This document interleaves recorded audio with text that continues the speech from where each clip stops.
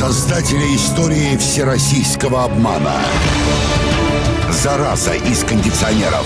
Что мы получаем вместе с прохладой? Чем утолять жажду в пекло? Как найти безопасный водоем? И как сделать дачу неуязвимой для пожаров? Спасти и сохранить. Памятка для горящих дачников. Как нейтрализовать смог в квартире? И кому из россиян этим летом придется хуже всех?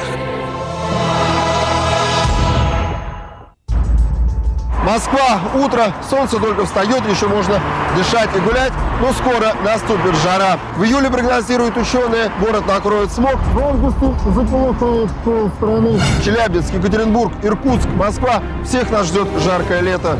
Сегодня мы составим памятку, как пережить поцелуйки.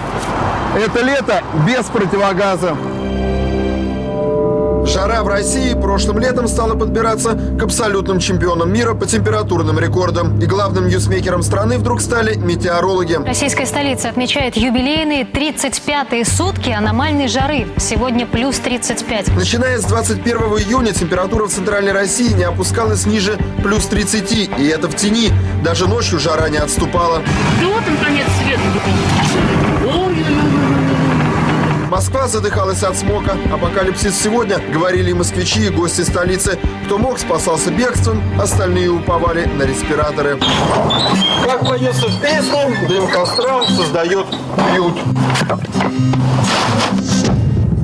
Ну это в походе или на шашлыках. А что если этим дымом дышать круглые сутки, как три недели назад жители Центральной России. Итак, эксперимент на себе в этом дыму без противогаза и респиратора. Я проведу 10 минут, а вместе со мной дышать дымом будет пылесос. На выходное отверстие мы крепим маску, точно такую же, какие многие из вас носили в эти дымные дни. Главное условие эксперимента – мне и пылесосу надо дышать одним воздухом. Поэтому, осуществляя воздухозабор через рот, в этой же зоне я держу и трубу.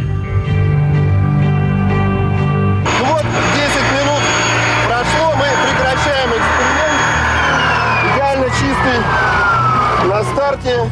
Фильтр стал, сами видите, каким. После нескольких дней, проведенных в облаке пожаров, вы думаете, у вас в легких не появились такие круги копоти?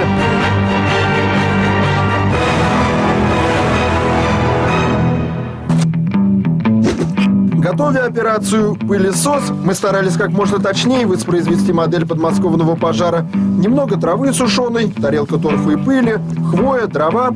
Все, что горело летом в лесу, добавит газу нашим исследованиям.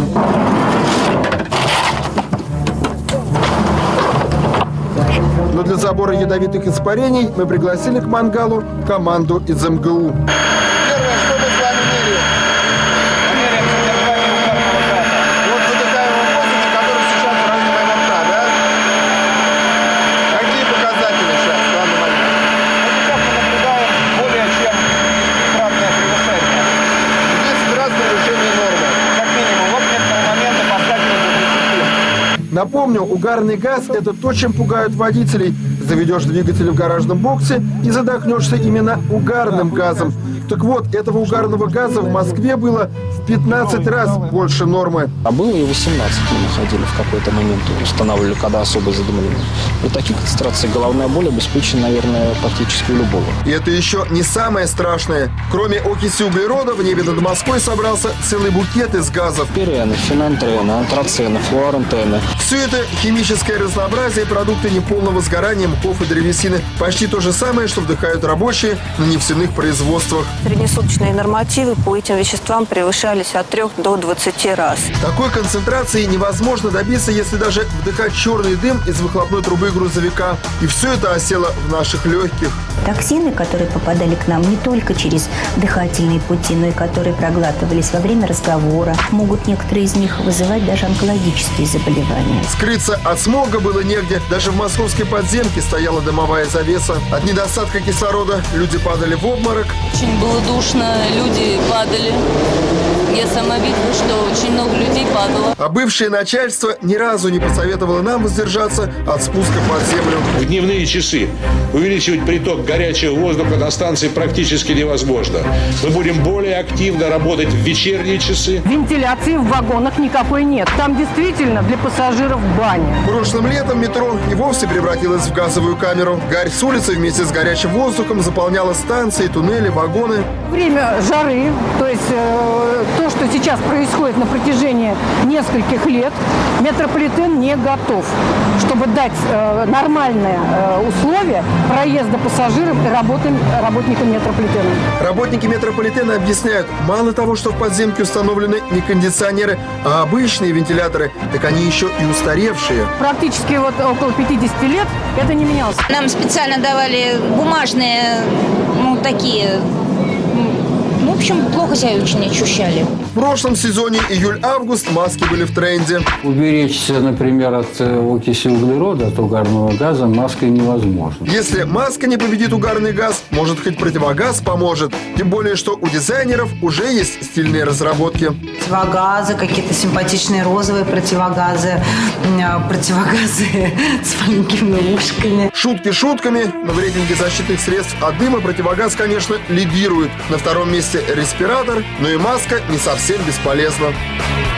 Все эти маски, они, конечно, имеют некое защитное действие вот от этих мелких взвешенных частиц. Они задерживаются, конечно, если, тем более, если многослойная маска. То же самое были рекомендации, если открывать, допустим, форточки, занавешивать их слоями марли, может быть, смачивать, чтобы воздух был повлажнее. Если и маску не носить, можно просто промыть нос. Задние отделы полости носа и носоглотку, особенно у детей здесь воспаленные отделы э, слизистой оболочки и аденоиды, которые вот всегда э, все боятся, что они воспалены. Во время задымления врачи рекомендуют промывать нос 4 раза в день кипяченой водой. Спустя несколько месяцев мы узнаем, что наделал смог. Есть оценки, там, порядка 15 тысяч э, человек. Это очень много, конечно. У нас в год э, на дорогах, скажем, гибнет э, чуть больше 30 тысяч человек. А тут за два месяца в одной Москве э, погибла половина от э, того количества людей, которое гибнет на дорогах в год. Отравляющий смог проникал всюду и убивал. Были дни, при которых э, смертность увеличивалась, на мой взгляд, в два с половиной три раза. Машин трупоперевозки реально не успевали. Дефицит машин у ритуальных служб. В морге, как в советских гостиницах, мест нет. Только прошлым летом, впервые за последние годы, умерших людей не увозили из дома до самых похорон. Тут даже взятками ничего не решалось. О реальном масштабе бедствия знали только сотрудники похоронных агентств. Позже об этом заговорят врачи. По европейской части 54 тысячи дополнительных смертей. Вы представляете себе, что такое город 54 тысячи? Вымер. Тем временем власти на местах замалчивали реальный масштаб бедствия. Они не сознали опасность.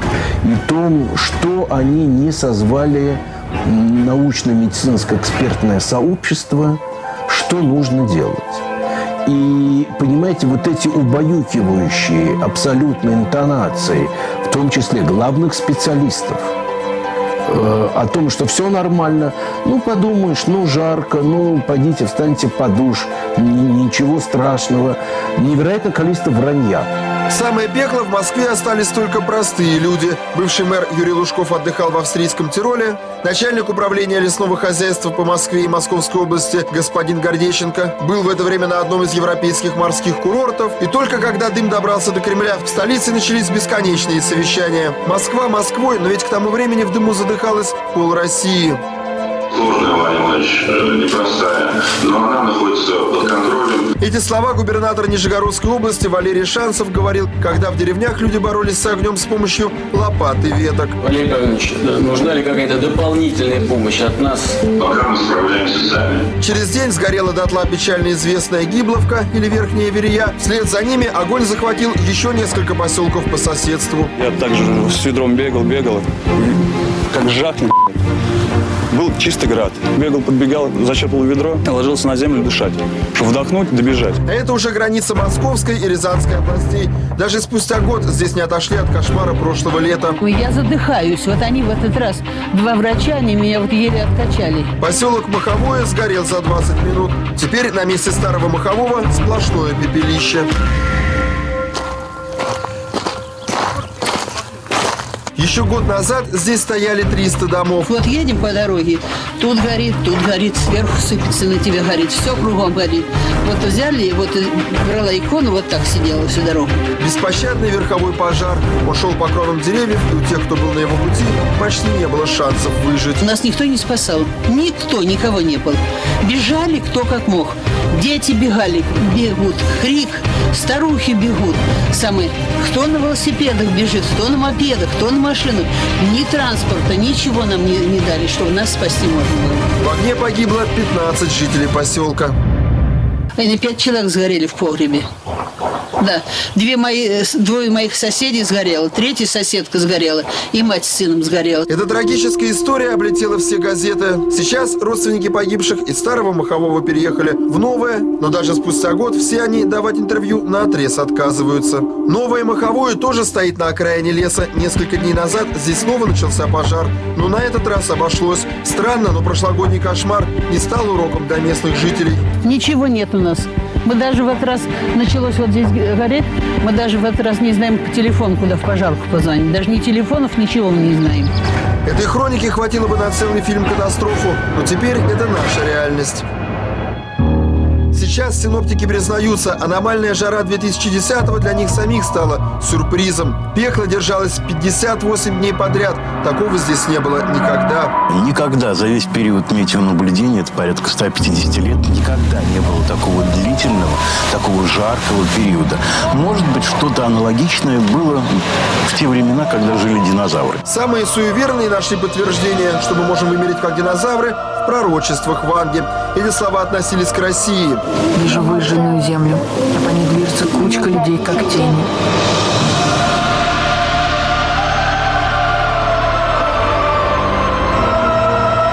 Медицинских наук Борис Ревич в апокалипсис не верит.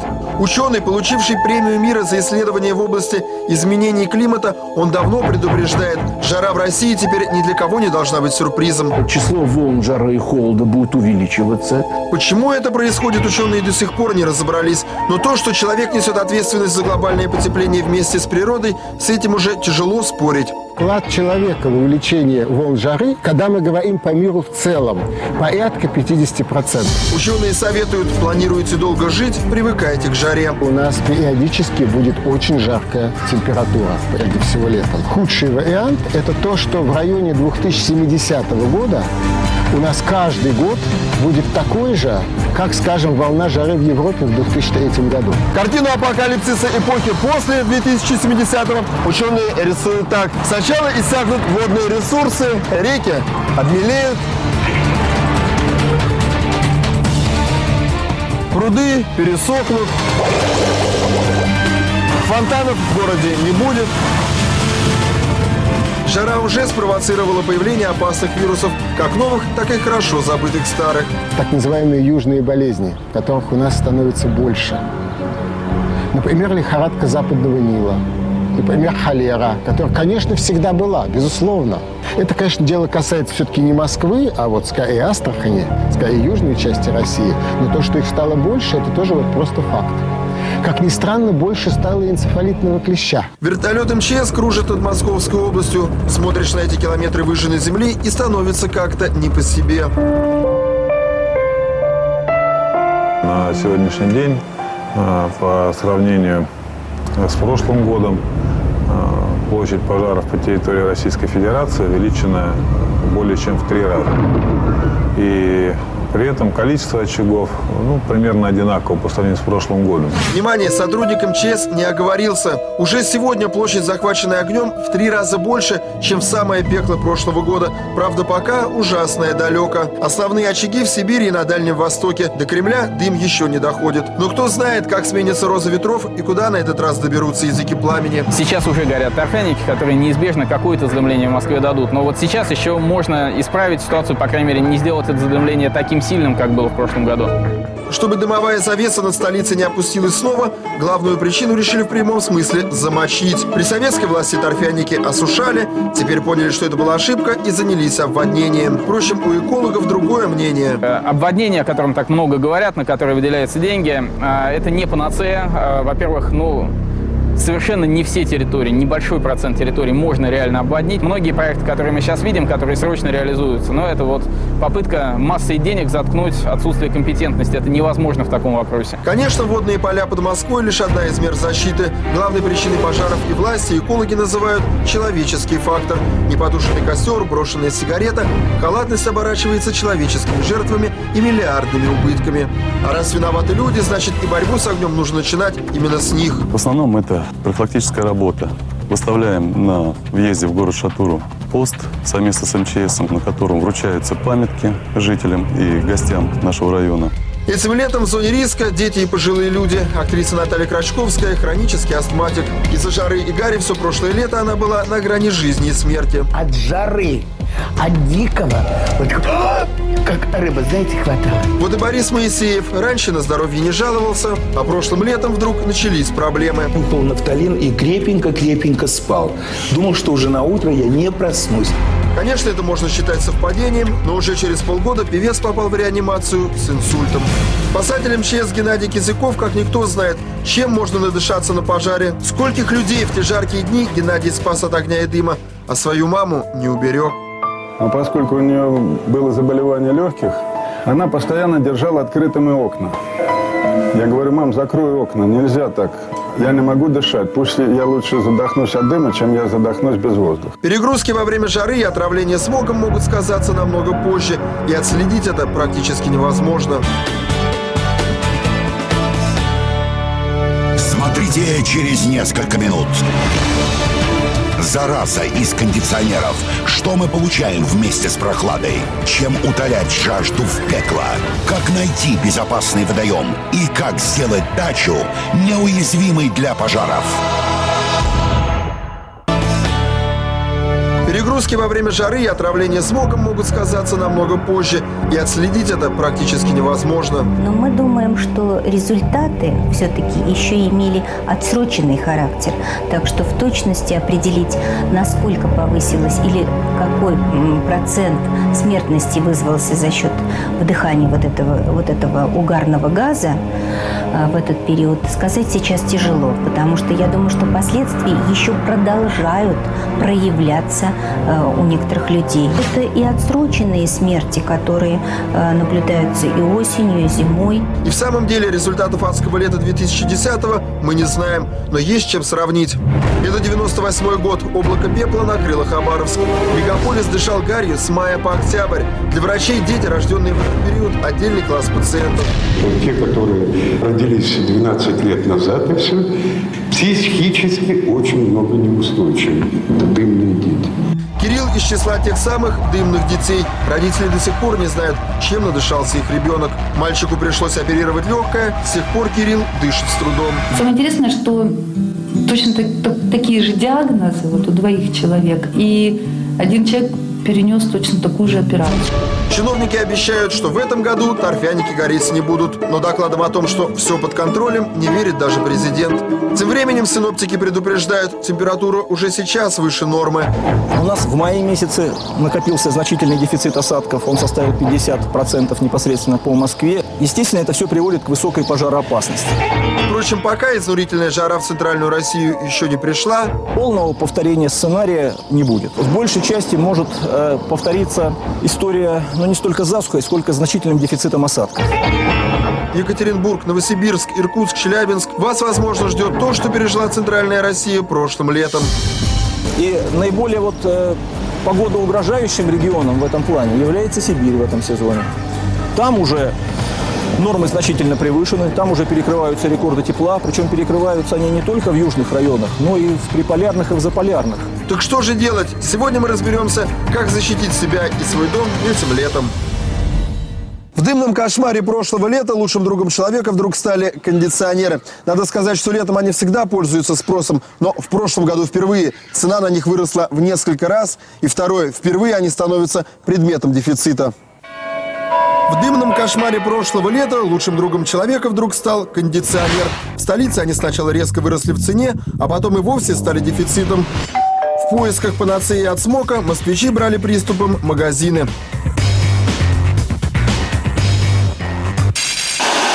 В данный момент происходит монтаж внутреннего блока.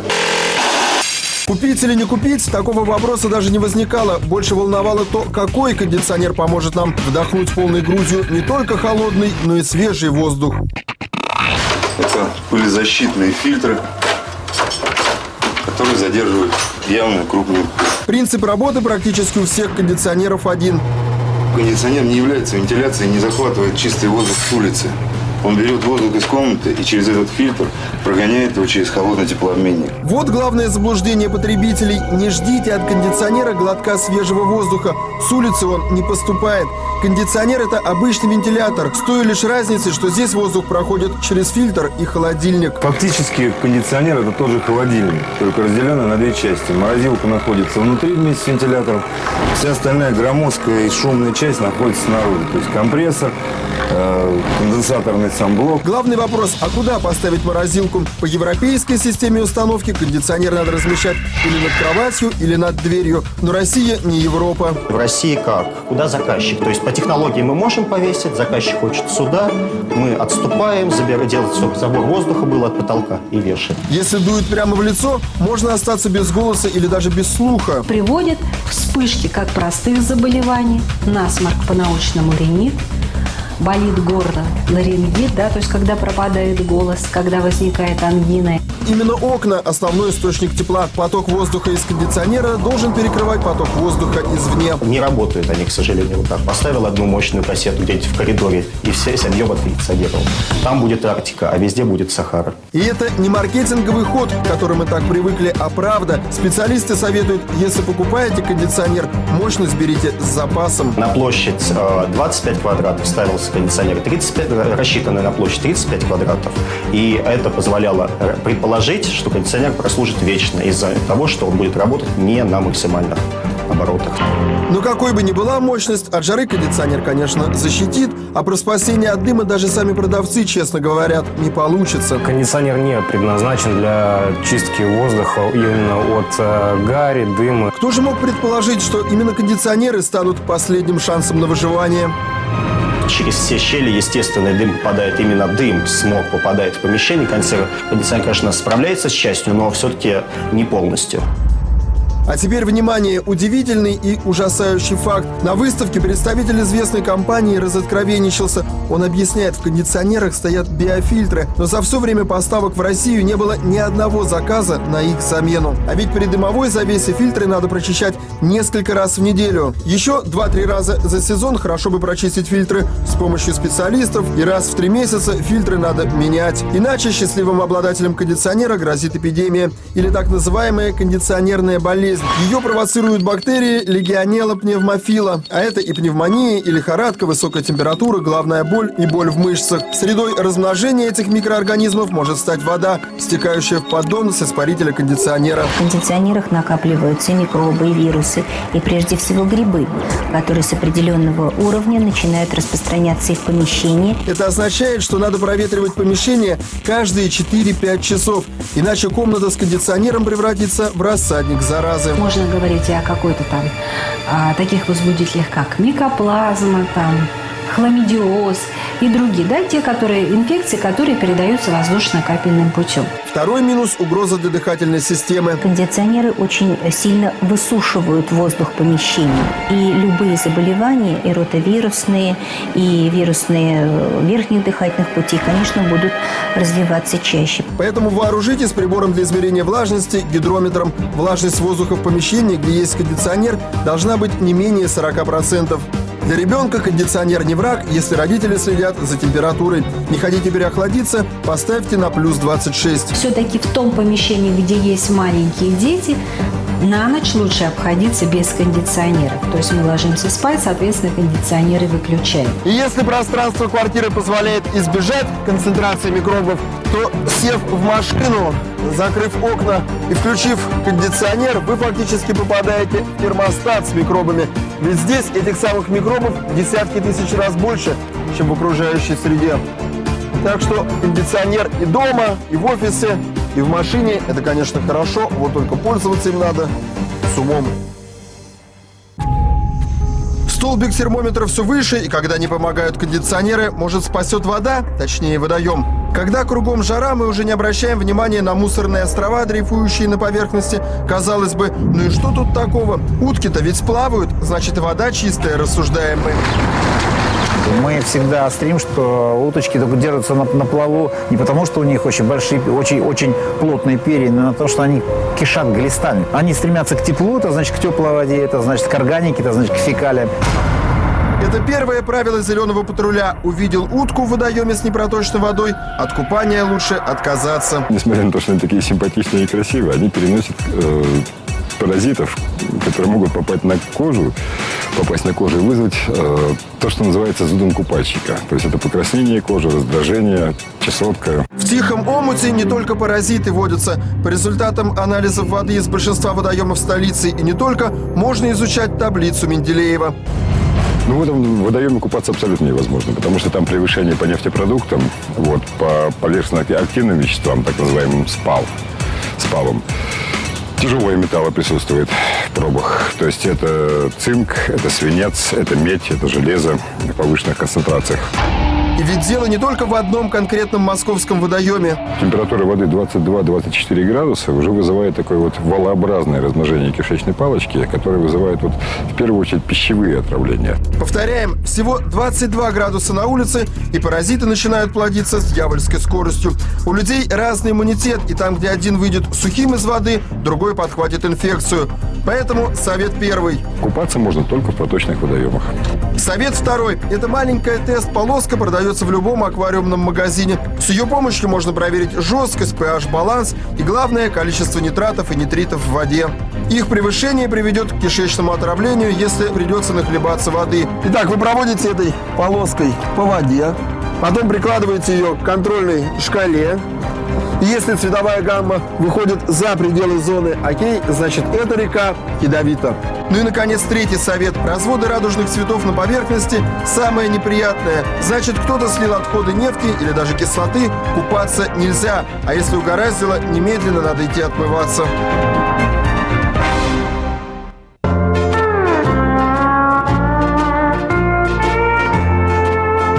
На улице плюс 30, жара, жажда. Чем ее утолять, в каких количествах и, главное, так, чтобы было для пользы тела. Давай, давай! Итак, мы провели уникальный эксперимент. Москва, МГУ, турнир по регби. Добрый день. Так, кто у нас будет первый? Перед началом игры врач Лев Тартаковский измеряет пульс и давление, снимает кардиограмму. Пока что у спортсменов все показатели в норме. Нормальная, хорошая кардиограмма молодого, здорового спортсмена. Допустимо. Следующий. Проблем с сердцем нет ни у кого. Сказывается хорошая физподготовка. Теперь во время игры каждый из участников эксперимента будет пить только один напиток. Задача понять, чем лучше утолить жажду. Сейчас посмотрим, что будет после приема наших напитков. В эксперименте участвуют морс, квас, кола, горячий чай, сок, газированная вода и обычная вода без газа. Пока одни выбирают, чем утолить жажду. Я буду пить квас. А я буду пить сок. Другие уже вовсю дегустируют. Первый глоток апельсинового сока оставил не самые лучшие впечатления. Ну, какая-то кислотность начинается после сока. Во рту неприятно. И как бы я думаю, что меня надолго не хватит. Игра началась. Пока что университетская сборная уступает соперникам. В перерыве ребята еще раз подходят к столу с напитками, освежиться. Заодно делятся впечатлениями. Пил колу, сложно было все. Желудки першило, было дискомфортно. Итак, прошел еще один тайм. Пора узнать, как подействовали напитки на организм. Проводим контрольные замеры. Любитель колы теперь страдает одышкой. Врач констатирует. Давление выросло. э, 160 на 90. Скорее всего, из-за того, что пациент пил газированные напитки. Пульс тоже зашкаливает. 120 ударов в минуту. Ухудшились и показатели кардиограммы. Вердикт доктора неутешителен. В жару э, газированные напитки лучше не пить, потому что действие на организм непредсказуемо ухудшается показатели гемодинамики. Апельсиновый сок тоже не дает возможности отдышаться. По сравнению э, с газированными напитками рост показателей пульса и артериального давления не такой большой, но тем не менее э, все равно это приводит и к приросту пульса, приросту давления и снижению толерантности к нагрузке. Может, горячий чай – выход из ситуации? Употребление горячего чая на жаре не является лучшим средством для утоления жажды для лиц со славянской внешностью, живущих в средней полосе. Морс, регбист, сразу вносит поправку. Морс слишком сладкий, в жару его пить плохо, потому что вяжет, пить хочется. И после морса все равно нужна вода.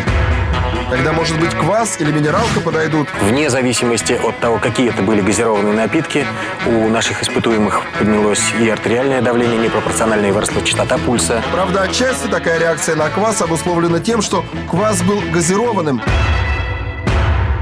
Тем временем последний игрок пил только воду. Это пульса 78 ударов в минуту. Прекрасный результат. А что же кардиограмма? Кардиограмма здорового человека. Пейте обычную холодную воду. Это лучший способ восстановиться на жаре при таких физических нагрузках. При одинаковых нагрузках игрок, выбравший простую негазированную воду, чувствует себя значительно лучше других. Ну, чувствую себя отлично. А, восстановился полностью и готов к следующей игре. Выход есть. Негазированная холодная вода – лучший напиток для жаркого лета. Правда, тут тоже важно не переборщить. Дневная норма – 2-2,5 литра воды. Организм требует пить, но пить в меру, э, не перегружать сердечно-сосудистую систему. И лучше, чтобы это была обычная холодная вода, без химикатов, без пищевых добавок и присадок, которые сейчас, к сожалению, используются все чаще и чаще.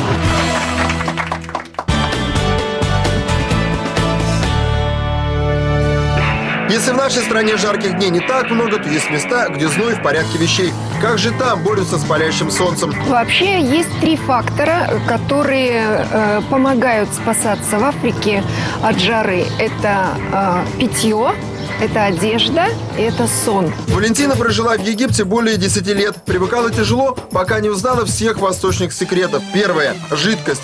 Жители жарких стран пьют много, но с умом. Утром обязательно воду, а вот днем в жару только горячий чай. Если вы в сильную жару выпьете холодную воду, которая моментально впитывается кровью, то вам станет еще жарче, вы вспотеете и будете не очень хорошо себя чувствовать. Второе – одежда. Если европейцы в летний день снимают с себя все, что можно, то на Востоке, наоборот, одеваются. Это древняя традиция, и она помогает. Э, одеваются, как правило, закрывают все части тела. Это э, одежда с длинным рукавом. Длинные рукава, челма и брюки позволяют сохранить температурный баланс и не перегреваться под солнечными лучами. При этом самой хорошей тканью считается шерсть. Она лучше всего впитывает и испаряет влагу. Первая – шерсть, второе – лен и третье – шелк. Третье – это сон. Во многих странах с жарким климатом сиеста или послеобеденный отдых является многовековой традицией. В средиземноморских странах это, как правило, полдень, это 12 часов, и вся страна буквально, если может, укладывается спать. В Египте это, как правило, 4 часа дня. Во время жары в воздухе мало кислорода, голова не соображает, тело не слушается. Сон помогает человеку преодолеть испытания погодой. Организм должен отдохнуть. Во время сна температура нашего тела понижается на градус. Это тоже дает возможность как бы нам остыть. Но несмотря на суровые условия, организм привыкает к жаре. И многие выходцы из солнечных стран без нее уже не представляют своей жизни. Ход вверх и ход лет для нам лучше солнце, чем, например, вот зима, нам лучше жара. И что россиянину хорошо, то приезжему оказывается беда. Когда, например, жара, не надо вообще пить холодную воду. Для нас вредно это, короче. Почки у нас болят там.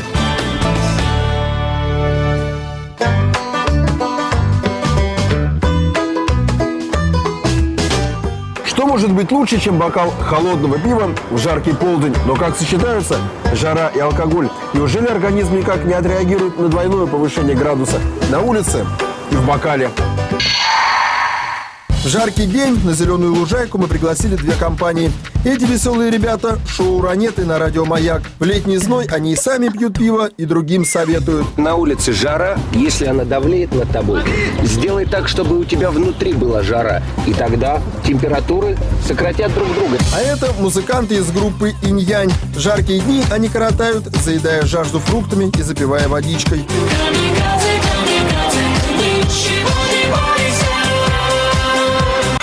Итак, мы проводим эксперимент, кто лучше перенесет выходные под пеклом, ранеты с пивом или инь-янь с водой и фруктами. Кушайте виноград вместо водки. Невкусно, но не так вредно. Сначала измеряем у отдыхающих пульс и давление, снимаем кардиограмму. Результаты перед началом испытания одинаковые, все показатели в норме. Ну что ж, начинаем наш эксперимент. Посмотрим за нашими участниками, кто как отдыхает и что покажут приборы после отдыха. Такому эксперименту можно только позавидовать. Ешь, пей и развлекайся. У любителей градуса пикник проходит весело и задорно. Так выпьем же за прохладное лето. За алкогольное лето, какое бы оно ни было. Будет алкогольным, будет и прохладным. Ранеты начали с пива. Пиво – жидкий хлеб. Хлеб – это жизнь. Уважает труд комбайнера. И быстро перешли на водку. Куда ни кинь, куда ни глянь, повсюду мы, ранеты пьянь. Вздрогнем. Группа трезвенников тоже с честью проходит испытания и на алкогольные искушения не поддается. Инь и янь пока еще у них сбалансированы. Извините, мы не пьем водку, нет. Что же, переходим ко второй части испытания. Спортивные упражнения. Похоже, любители напитков покрепче уже на старте, не в лучшей форме. Мы в норме, мы в норме. Они забили. Еще несколько минут игры, и команда под градусом просит перерыв. Жара сделала свое дело. Это же жуть, как жарко. Ну давайте, давайте, давайте возьмем паузу, давайте выпьем чуть-чуть. Ну промочим горло. Со счетом 3-0 матч окончен. В игре перевес на стороне трезвой команды. Но футбол еще не показатель. И сейчас мы идем играть не в футбол, а в доктора. Снова пульс, давление, кардиограмма. Результат хоть и ожидаем, но удивляет медиков. Нагрузка на предсердие, да. Ну и частота пульса 117 ударов в минуту. Последствия отдыха видны. После такого отдыха, утверждает врач, на сердце идет колоссальная нагрузка. Как следствие, затрудненное дыхание и чувство усталости. Медицинские показатели, да и самочувствие у любителей простой воды куда лучше. Пульс 78 ударов в минуту. Это очень хорошо. Пульс, давление изменились минимально. Профессор доволен и делает вполне предсказуемый вывод. Без алкоголя жара переносится намного легче. Кардиограмма как была, так и осталась. Ну, Как- обычно, как обычно. идеальный. Итог нашего эксперимента очевиден. Банка холодного пива или напитки покрепче, конечно, поднимут настроение, но здоровье не прибавят. Алкоголь, как это не грустно, только помешает организму бороться с летним зноем. А если еще и перебрать с градусом, пикник может и вовсе закончиться за обочиной.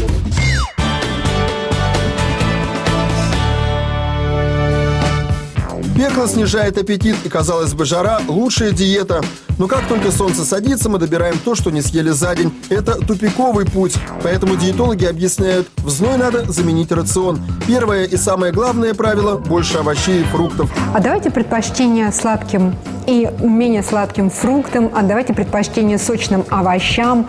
Это огурцы, помидоры, кабачки. Маргарита Королева, врач-диетолог. Это под ее строгим руководством худел Басков и обретала форму Надежда Бабкина. В жару Маргарита советует отдавать предпочтение овощам зеленого и белого цвета. Зеленого и белого цвета не случайно, потому что именно в этих овощах большое количество живой клетчатки, которая будет обеспечивать хорошую детоксикацию организма. Организму не помешают и углеводы, поэтому переходим на каши.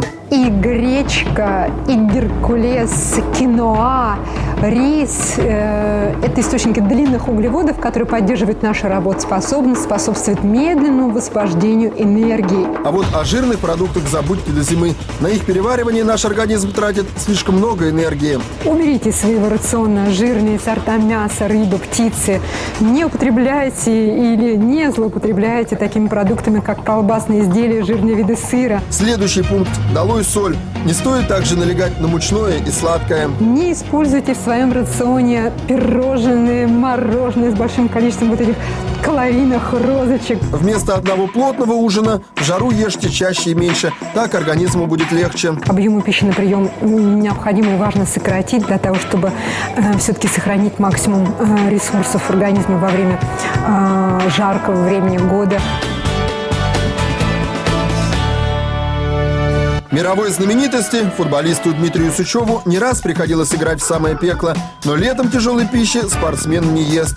Тяжело есть что-то горячее и тяжелое в такую жару. Максимум такой салатик легкий. Кроме салатов, пережить зной Дмитрию помогает окрошка. Лучше, говорит он, на кефире. Идеальная еда – это окрошка после такой жаркой жары и тренировок на жаре окрошка – самое идеальное средство. Предположение футболиста про окрошку подтверждают и диетологи. Кисломолочные напитки удаляют жажду, а вот обычное молоко может вызвать дискомфорт. Ведь жара провоцирует быстрое размножение бактерий. Что касается гарниров, то во время жары на летние каникулы должен уйти картофель.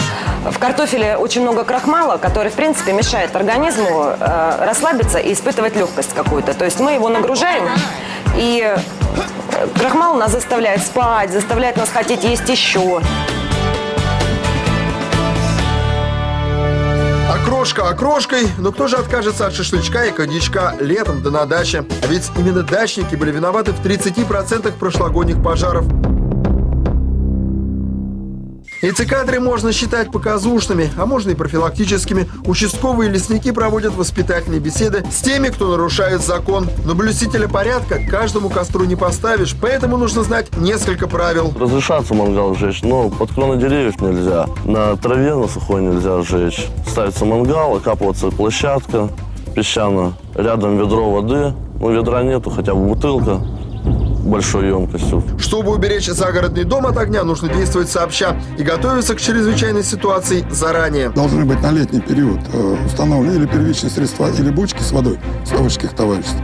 Конечно, необходимо проверить электрохозяйство. В летний пожароопасный период должны, э, должно проводиться патрулирование садоводческих товариществ, к чему мы их и призываем. Не ждите, пока вас клюнет горячий петух. Правила простые и легко выполнимые. На дачах кондиционеры скорее редкость, чем правило. Поэтому от жары и, главное, от смога можно защититься и подручными способами. Уберечься, например, от э, окиси углерода, от угарного газа маской невозможно. Но его не так много. Все эти маски, они, конечно, имеют некое защитное действие вот от этих мелких взвешенных частиц. Они задерживаются, конечно, тем более, если многослойная маска. То же самое были рекомендации, если открывать, допустим, форточки, занавешивать их э, слоями марли, может быть, смачивать, чтобы воздух был повлажнее. Жара не приговор, особенно если знать, как ей противостоять. Подведем итоги. По утрам пейте много негазированной воды, ешьте фрукты, забудьте про мясо. Кондиционированное помещение не забывайте проветривать. Не купайтесь в общественных водоемах и старайтесь поменьше бывать на улице на жаре, потому что пекло не щадит никого.